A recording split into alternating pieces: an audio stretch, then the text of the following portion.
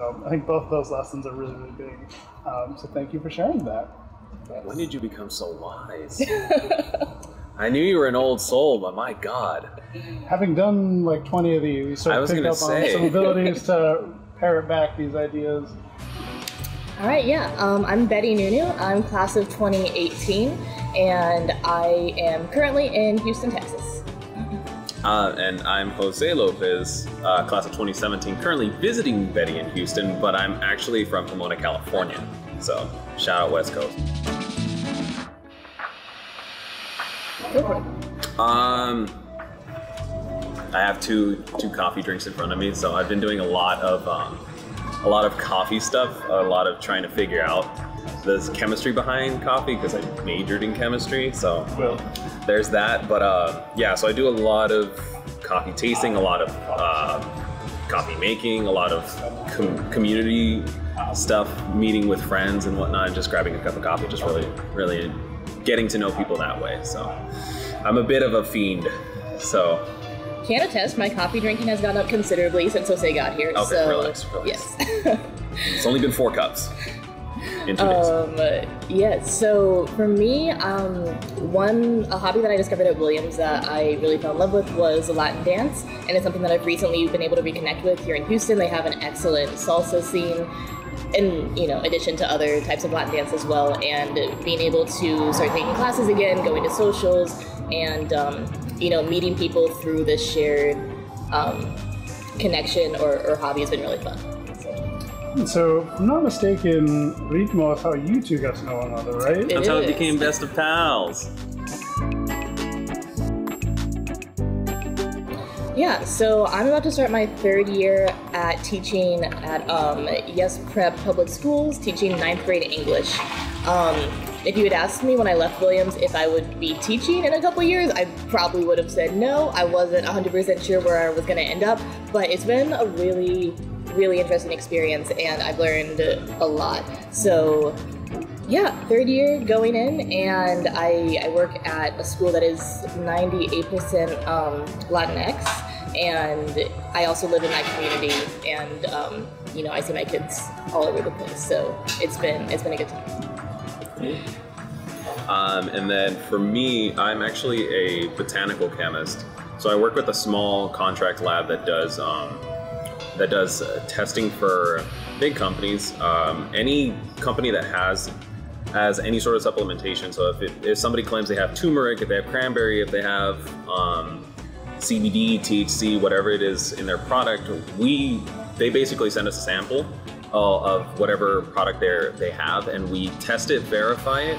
Um, so there are two steps. They can identify it, so um, our TLC department actually eh, identifies it and verifies that it is what they're saying. So if if um, so through so through HPTLC we test it, confirm uh, that it fits the it fits our reference samples, and then and we we also have an analytical department that basically a if some if they say oh we have so if you ever see something that says like vitamin C like 3,000 mgs they have to test and prove that there's actually 3,000 mgs. So the analytical department basically tests it and says like, hey, this is actually 3,000 mgs, or actually you're lying to people. It's 300 mgs.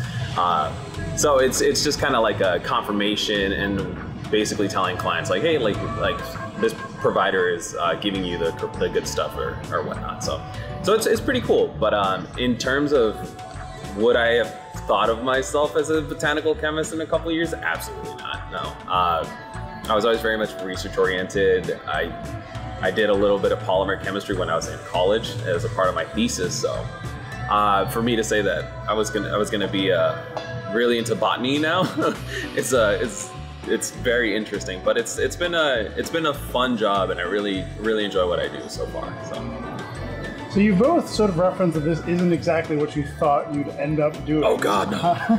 How did you end up in, in this line of work in both education and botanical chemistry? Um, so for me, it was more, it was more indirect because when I left Williams, I actually couldn't find a chemistry job, or at least a job in chemistry for almost an entire year. I actually worked retail um, for about a year before I actually landed something, and it wasn't.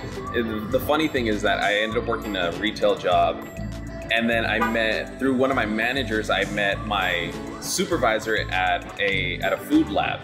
So because of that manager, it was like her cousin's girlfriend, and so she was like, "Hey, she actually works in a lab. Like, I'll, I can shoot a recommendation over for you." And then I got an interview with that company, got hired, and then then that supervisor ended up leaving the the old job I was at um, a couple years back, and so she left, and I was like, I was miserable at that job. It wasn't a fun one. Uh, and then I left and like texted texted my old supervisor, like, hey, I was like, if you guys are looking for a chemist, like, let me know. She was like, no, we're not looking for anyone. and I was like, cool, thanks, appreciate it. But then a month later, she was like, hey, we're actually hiring on. Uh, because it's a small, it, like I said, it's a small contract lab, so it's like 40 people. I think we're almost up to 45 people now. So it's it's a very small company. So the chances of me getting hired were like almost non-existent. But yeah, she she heard about an opening and reached out and was like, "Hey, I'd like to have him on the team." So I ended up getting hired, and now here we are. So it's kind of a little little windy road. How about you, Betty? Yeah, um, kind of a similar story. I left Williams, or I graduated from Williams, went back home, which for me is originally Southeast Kansas, um, for about a year. And I'm from a very small town, like 30,000 people. And, you know, in a small town, everyone's in everyone else's business. People heard that I was in town, and the principal of my old high school heard that I was in town and that I had a degree in Spanish, and they needed a long term Spanish substitute um, for almost a whole semester and he was like, "Hey, would you mind?" This was also like the second week of August. School was starting within a week. He's like, "Hey, would you mind coming in and, and teaching a few Spanish classes for the semester while our, our while our teacher's on maternity leave?" And I'm like, I'm not doing anything. Like I just, I was like, why not? This this seems like it could be interesting. And I just enjoy teaching way more than I thought I would. Um, I taught Spanish 1, 3, and then a little bit of AP Spanish as well. And the kids were great. It was really interesting to work alongside teachers that had taught me before, even very recently, what, like four or five years earlier. Um, and so then I, while I love my hometown, didn't really want to stay in, in Kansas, so I started looking um, elsewhere and connected with um, another alum, um, Diana um, and she was in Houston, and she was working for um, for a school here, and so she was able to um, hook me up. So yeah, that's why I ended up here. That's awesome. It's it's always really cool to hear about these very circuitous routes where people end up wherever they are. Yeah. Um, there's one thing that we've gotten to know pretty well is that no one's story is exactly as they expect. Um, there's always random twists and turns. Um, and it's really exciting to hear you're both enjoying what you're doing um, because that, that's a really fun revelation, particularly for young alums, to really find something that is at least vaguely interesting yeah. Um, so close after graduating. Um, so thank you for sharing all that. Thanks.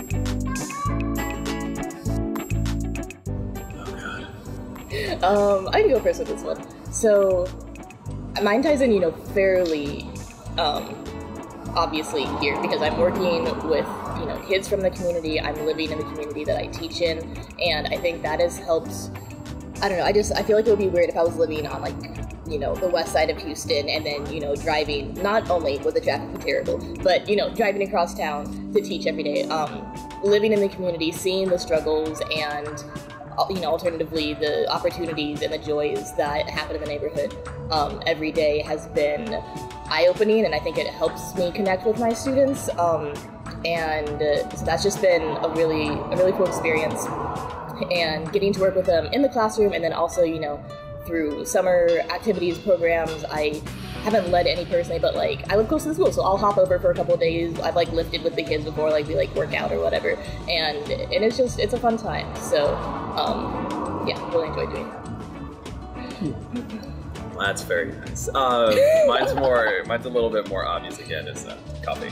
Uh, no, I actually, since I started drinking a lot of coffee um, after college, I really got into it, and a ton of a ton of baristas in the local scene know me. So uh, I'm very much like I'll pop into a coffee shop, and I always like get I get the word from people, just kind of talking to them, seeing how they're doing, seeing what's seeing what's up in the area. And I'm always hearing from baristas like, "Hey, you have to go try this spot. It's really good." Whether if it's Mi Cafecito or um, or what used to be Augie's, I've known so many spots now I have like my local spots that I go to every day. Mi Cafecito, Caps and Drip, um, uh, Iron and Kin. I'll go over the Reverse Orangutan. They have a Claremont location now, which is clutch. It's in a movie theater, which is even better. Um, and basically, I just I've, I've just like I have just like that's kind of my realm at this point. Is just like I know them. I've become really good friends with a bunch of baristas. They're all really cool, and they're always telling me really awesome things. Um, and actually, Mike Sierra, Sierra's husband Luke, and I connect that way too. Um, shout out to Sierra, that's uh, class of 17. And then Luke was 16, 15? 16. I think 16, yeah. But uh, he's all the way he's all the way in Massachusetts, and we we've exchanged coffee beans before. And like when he was in California too, he asked me, he's like, "What spot should I hit up?" So it's kind it's kind of interesting because friends will always hit me up and ask me like, "Hey, like what coffee spot should I hit up?" And I'm just like, like that's the way I connect with the community. It's like I just go out, I have a cup of coffee with friends, and then just really, we just, you just really get to know people that way. What they like, what they don't like, who likes oat milk lattes, who doesn't. Um, oat milk lattes are clutch. Oat milk is the best milk. I'm not gonna lie. But yeah, I just I, I love the community that I've I've been able to know, and then yeah, so it's just kind of around that. And then I have friends in LA that I just go out and see every once in a while. Like my two best friends, Sin and Anna amazing people that we also I also happen to bring coffee to them all the time. and so a, a, lot of my life revolves around the coffee scene. So yeah, I'm I'm sorry that it's so much coffee, but it's it's it's a it's a good way to keep me to keep me uh, energized. Um, yeah, I, I would say I would say that um, everything I've learned from the chemistry department has basically like touched over to to what my life has been outside uh, professionally and whatnot. It's I mean, in tie, unfortunately I have to tie it back to coffee, but it's just like the basic idea of chemistry. I follow that, trying to find like the best cup of coffee I can make. It's like what things can you adjust to try and make things better. So it's like you can change the temperature of the water. You can. I've invested so much money into all this stuff to, to like try and find precise things. It's like like what region is are your beans coming from and just like that's just just my personal life but in like in terms of professional settings it's also it's also just like oh like like what can you talk to about people like what because chemistry can be a very niche thing. Uh, one chemist can be a biochemist and be very involved in that and have no idea what polymer chemistry is. So trying to trying to trying to find the common ground of like okay like how much how much knowledge do we share? How much do we know? Where do we connect? Like what and so it's kind of like there's very niche things and you can be very knowledgeable in all in your specified area but that doesn't mean you're a professional and, and like very well like you don't have all the knowledge needed so it's it's never it's never a bad thing to like talk to other people and get an idea of what they know slash how you can change things. So it's kind of it's kind of like a I guess I guess the biggest lesson I learned from there was um, it's okay to ask for help uh, all the time. It, it's you don't know everything. You're not a well of knowledge all the time. Just take it, take it, take what you know, and then see what other people know and see how you can improve that way. So yeah, I guess I guess that's a pretty pretty um, basic answer, I guess. Good answer. How about you, Betty? Um, yeah, I think mine's kind of like a two-parter. So, like I said, coming from a small town in southeast Kansas, I went to a public high school. So, on like on an academic level, Williams was definitely a push for me, especially in the first couple of years, as I think it is for a lot of us. Mm-hmm. Um, and so, obviously, on an academic level, you know, lots to take away from there. But it can be also a very stressful environment. And so, one of my biggest takeaways is just like the people that you surround yourself with are so, so important. They're going to make or break you, and you know, they can be in a huge support. And so, that is something that I've that's definitely something that I've taken beyond Williams, and you know, um, you know, continue my relationship from William, uh, uh, friendships from Williams and build new ones beyond that. And then beyond that, like I said, Williams, it pushes you. And so another thing is when I first got there, and I think this is true for a lot of, especially incoming freshmen, you're just used to maybe not, but for me anyway, I was kind of like I've been coasting through most of high school, and so then it was like, oh wait, there are so many people who are so smarter, like so much smarter than me. I'm very much in the middle of the pack or below that now. Like, what is this? And that kind of pushed me to be okay with trying different things, right? And going outside my comfort zone. And it's okay if you don't know everything. So I guess to bounce off Jose's answer there a little bit, um, you know, go outside your comfort zone, try new things. Um, I teach, but I also work at a wine bar, and I knew nothing about wine when I started working there. So it's just like, you know, when opportunities arise, take them, try them out, see where they go, and yeah.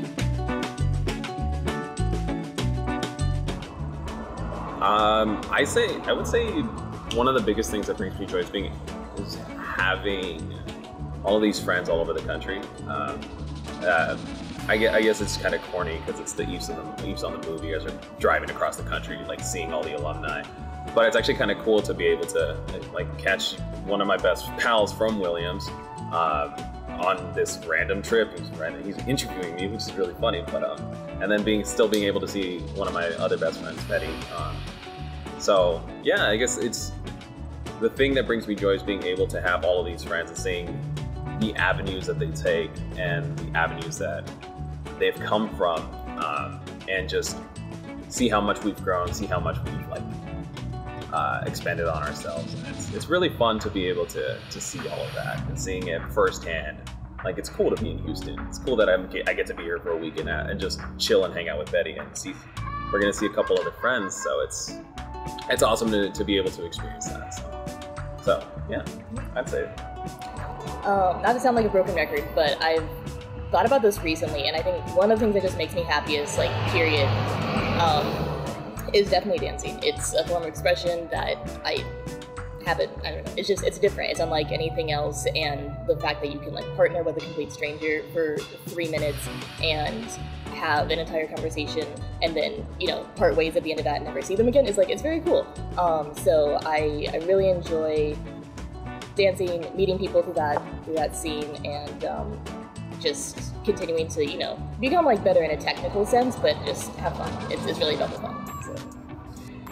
What you're both sort of touching on here is a sense of personal connection with other people in both the realm of dance and just generally being able to have friends that you can connect with. Um, and getting getting to sort of be a part of those dynamics and really hear you know that friendships are really are meaningful to people um, has been really cool um, and so I'm, I'm really glad to have gotten to know you both in my time at Williams um, and yeah it's really exciting to be able to sort of connect with people you know whether it's on dance whether it's in interviews whether it's just saying hi to people as you're traveling um, so that that sense of joy for others, like coming from other people, is, is something that is really really special. Um, and so thank you both for sharing your space in this context um, and being so open with that. Oh goodness. Um. or do you need more time? No, no, I got it. I got you it. Sure. Yeah. All right. Um, I'm sure it's an answer you've heard before, but if if I had to write a thank you note to one set of people, it would have to be my parents. I think I mean, I don't have any kids of my own, but I imagine it's really hard to, you know, do all this work and put in all this money and like raise this human and then just let them go do their own thing. And my parents have been nothing but supportive and first in letting me go across the country to a college that they'd never heard of and then, you know, move all the way down to Texas far away from them. And so that has just like really allowed me to grow and, you know, stretch my own legs and figure out my own my own thing. And I really appreciate all that they've done for me um, through their guidance and also their you know, not overbearing as his hands off approach Thank you. Um, and for me, it's a, a, it's. I mean, obviously, my parents are, are a huge, huge part of my life. But um, I, when you when you said the question, the first thing that popped up was Christopher Goh and Sarah Goh. Um, basically, like second parents to me when I was at Williams. Um, but yeah, Christopher Goh just. Um, really he really saw me grow as a chemist from the very beginning to the very end. Uh, he was my he was my first year advisor. He was my chemistry advisor. He was my thesis advisor, and I took every single class he offered um, as a chemist. So he really saw me from point A to point B. He really saw me mature in that way. So I, I, I would I would say that I would thank I would write thank you for I mean making me a, making me a really awesome chemist uh, you really taught me a lot of a lot of a lot of awesome lessons, but at the same time, you also nurtured something in me that I, I think that I'll hold on to forever, and that's that's the love of like learning. So Oh, very soft, very uh, very romantic idea, but uh, but yeah, he's uh, him and Sarah both both were very wonderful. Sarah being Sarah being more in the background of like like uh, of like talking to him and like like fostering fostering the relationship we had, and yeah, it was um, very moving, very very very deep connection that I share with them. So shout out to them. Thank you both for sharing that. I mean, it's it's really cool to have those sense of mentors and that like really strong grounding between you know family and educational mentors. Um, so getting to see both those thread lines, um, even though you think it's a cliche answer, it's not any less meaningful. And I'm sure both your parents and those professors are super proud of you both for all the work that you're doing. Um, because everything that you know you've gotten to share with us has been really really cool. I mean, chemistry work is super important and really really cool. Um, education and being mentors for students also really important, also really cool. Um, so we're really glad that you're able to share all of that with us and with everyone who follows the Youth on the Move project. So, are there any final thoughts you'd like to share with anyone that comes across these audio casts and videos? Hmm. Probably been good to have prefaced us with that, so we would have thought of something. But um, uh, no, just enjoy the people you're around. Um, enjoy the people you have. have. Have a good time. Grab a cup of coffee with them. I'm sorry, it's just coffee, coffee, coffee, coffee. Um, but yeah. Yeah, nothing, nothing groundbreaking. Um, if it's while you're at Williams, just like enjoy it. I know, it's like it's annoying to hear Lum say that all the time, but it really is like a crazy time and it, it won't happen again in the exact same way. So if you're at Williams, enjoy it. If it's post Williams, you know, like Jose said, find new people, um, keep those relationships strong, and that's it. Make as many friends as you can. That's it. It's, it's, it's all about the It's crucial. so if, if you if you take anything from Williams, it's remember the people. Remember the people that you connect with. Remember what they do. And sorry, I didn't mean to like jump into Betty's thing and like right off of that, but. Um, but yeah, just connect with those people, really get to know them, and you'll have a, uh, you will not regret it. Even if you have possibly the worst experience at Williams, you will still have a really awesome time just because of the people you know. So hold on to those people.